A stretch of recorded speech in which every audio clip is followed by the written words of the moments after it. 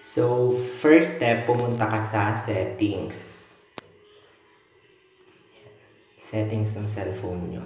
Then, pumunta ka sa storage. Ito. Then, pindutin mo tong storage. Then, yung tatlo sa taas. Basta sa cellphone nyo, pindutin nyo lang yung storage. Then, may makikita kayong ganito. Yan. Then, storage settings. Pindutin nyo yung internal storage. Yan. Kung makikita nyo nga, ano na siya, malapit na siyang mapuno. Then, pindutin nyo itong use space. Then, applications. Yan.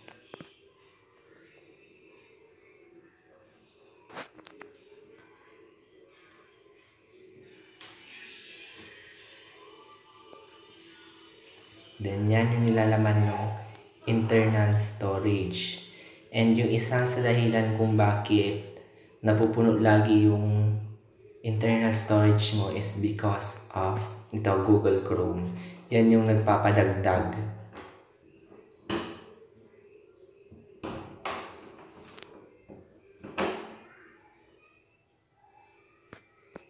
Kaya, dapat ma-delete siya.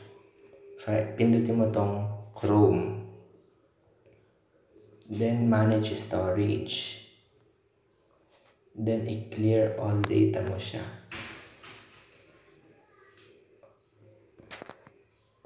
So, wala na yon Yan kasi, yun yung mga na-search mo sa Google. Then, naiipon doon yung parang ano nila, files nila. Pero pag dinelete mo yan, mawawala yung lahat mga sinerch mo.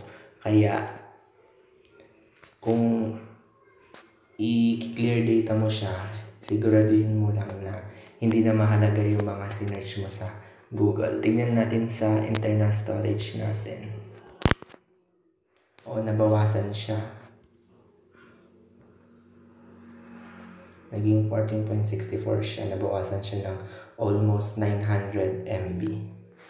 So, yun. Tapos na. Very easy.